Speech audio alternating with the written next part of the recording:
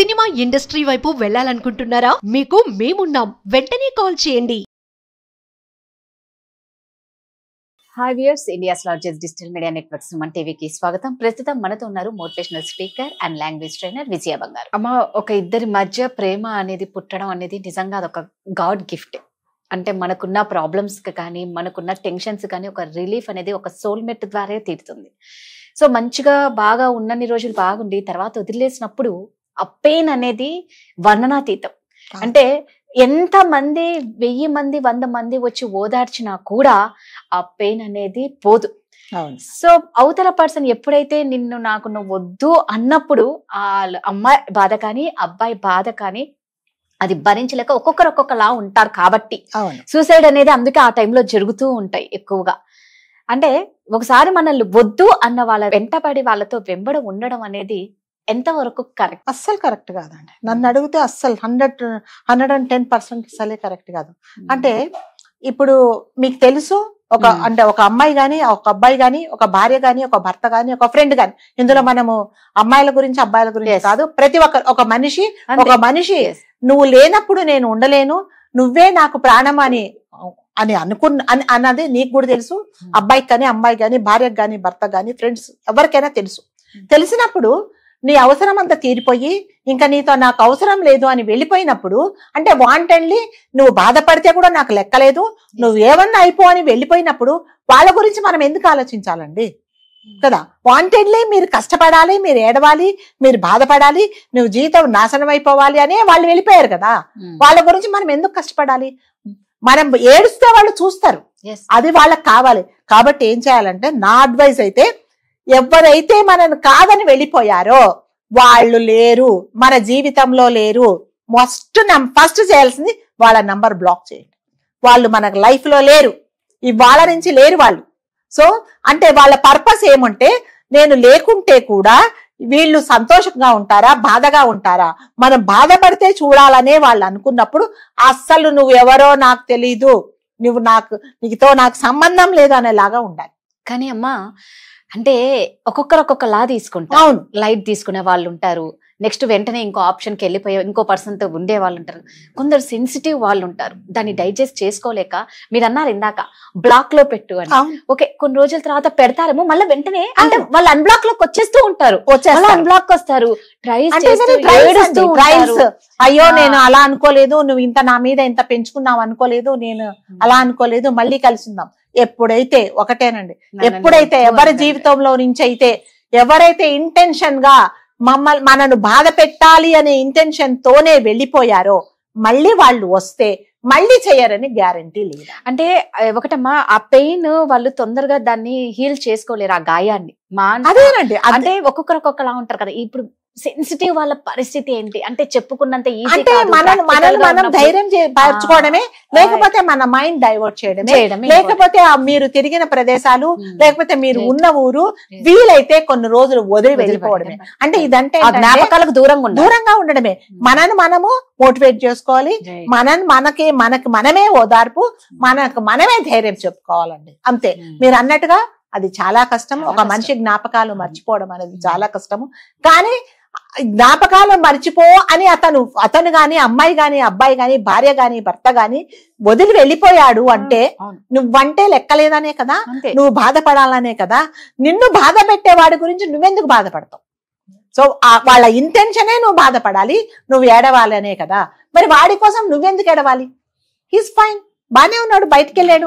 నీలాగా బాధపడుతున్నాడా? Right. తెలియకలేదు అతను తెలియక తప్పు చెల్లిదండి తెలిసే నువ్వు బాధపడాలనే ఉద్దేశంతోనే నిన్ను వదిలేసి వెళ్ళిపోయాడు నువ్వు లేక ఎప్పుడైనానండి ఎలా ఉంటదంటే ఒక మనిషి ఎవరైనా సరే నువ్వు లేకపోతే నేను ఉండలేను నువ్వు లేకపోతే నా ప్రాణం పోతుంది నువ్వు లేకపోతే నా ఊపిరి కూడా తీసుకోలేను అని మీరు ఎప్పుడైతే వాళ్ళ ముందు వ్యక్తం చేస్తారో. మీ వీక్నెస్ మీ వీక్. పాయింట్ చెప్తారో వాళ్ళు మిమ్మల్ని ఏ మాత్రం గౌరవించారండి అంటే ఆ- ఆ రకంగా కూడా మిమ్మల్ని బ్లాక్మెయిల్ చేస్తారు అంటే కొన్ని విషయాలు మీకు మనకి ఇష్టం లేకుండా చేయాల్సిన పరిస్థితి వస్తుంది అనమాట అంటే మ- ప్రతి మనిషికి సెల్ఫ్ రెస్పెక్ట్ అనేది చాలా ఇంపార్టెంట్ అండి. ఎప్పుడైతే అంటే మనకి ఇష్టం లేని పనులు కూడా నీతో చేయిస్తూ ఉన్నాడో అంటే ఏంటి? ఇప్పుడు నువ్వు అతను అతను లేకపోతే నువ్వు ఉండలేవు కాబట్టి నీకు ఇష్టం లేని పనులు కూడా వాళ్ళు చెప్పినట్టు నువ్వు చెయ్యాలి సో అప్పుడు ఏంటి నీ సెల్ఫ్ రెస్పెక్ట్ లేనట్టే కదండి. మనిషి ప్రతి ఒక్క మనిషికి ఫస్ట్ మనను మనము ఎలా ఉన్నా యాక్సెప్ట్ చేసుకోవాలి మనను మనం గౌరవించుకోవాలండి. అది లేనప్పుడు మాత్రం చాలా కష్టాలు వస్తాయి. లేదు ఫైన్ వాడు ఏం చేసినా వాడు ఎలా ట్రీట్ చేసినా బాబు నేను నీ ఇంటి ముందుంటాను ఒక కుక్కలాగా పడి ఉంటాను అనే పరిస్థితికి నిన్ను నువ్వు దిగదార్చుకుంటావా? అరే పోరా పో నువ్వు ఉంటే ఏంటి లేకపోతే ఏంటి నీకంటే నేను రాజాలాగా బతుకుతాను. నన్నేంటో నేను ప్రూవ్ చేసుకుంటానని బతుకుతే బా. ఎస్ మీరు అన్నట్టుగా ఆ గాయం మానడానికి ఆ పెయిన్ తగ్గడానికి చాలా టైం పడుతుందండి ఆ టైం ఆ టైం ఎలా స్పెండ్ చేయాలంటే అస్సలు మర్చిపో మర్చిపోవడానికి చాలా కష్టం అండి. ప్రతి క్షణము నిమిష నిమిషానికి ఆ గుర్తులు అనేది మనకి వస్తా వస్తూ ఉంటాయి. తప్పకుండా మనకు అతను అతను గాని అమ్మాయి గాని అబ్బాయి గాని గుర్తొచ్చినప్పుడు చాలా బాధగా ఉంటుంది. అలాంటప్పుడు ఏం చేయాలంటే మనను మనం బిజీ చేసుకోవాలి. ఫస్ట్ ఆఫ్ ఆల్ అంటే ఎలా ఉంటదంటే ఊపిరి తీసుకోవడానికి కూడా నీకు టైం లేదు. అనేలాగా ఉండండి. మీకు అసలు మంచినీళ్ళు తాగంటే కూడా నాకు టైం లేదు. అలా ఉన్నప్పుడు అసలు నీకు టైమే లేదు. వాడి గురించి దాని గురించి ఏం ఇంపార్టెంట్ అందుకని అంటే మనను మనను కంట్రోల్ చేసుకోవాలంటే సెల్ఫ్ కంట్రోల్ అనేది చాలా ఇంపార్టెంట్ సెల్ఫ్ డిసిప్లిన్ కూడా ఇంపార్టెంట్ నిన్ను ఎవరైతే బాధ పెట్టి నువ్వు బాధపడితే నీ కళ్ళల్లో నీళ్ళు చూడాలని వెళ్ళిపోయిన వాడి గురించి నువ్వు లే వాడు లేడు అని మీరు అనుకున్న రోజే మీరు బాగుపడతారు. లేదా అని మీరు నేను మళ్ళీ ఇందాక చెప్పినట్టు బాబు నువ్వు నన్ను ఎలా ట్రీట్ చేసినా పర్వాలేదు. నీ కాళ్ళ కింద పడి ఉంటా మీ ఇంట్లో కుక్కలాగా ఉంటా లేకపోతే నీ ఇంట్లో పని మనిషిలాగా ఉంటా ఆ? అని నీ నీ మొహం కనిపిస్తే నాకు చాలు అంటే వాడు ఎలా ట్రీట్ చేసినా కూడా నువ్వు రెడీగా ఉంటే. వెళ్ళు. అంతే. నీకు అది కావాలా ఇది కావాలనేది వాళ్ళే ఆలోచించుకోవాలి. సో ఎప్పుడైతే ఎవరైతే మనను కాదని వెళ్ళిపోయారో వాళ్ళ చుట్టూ తిరగడం అన్నంత అవివేకం అనేది అసలు ఏమీ లేదండి. నీవు నాకెంత అవసరం లేదో నాకు కూడా నీ అవసరం. లేదు.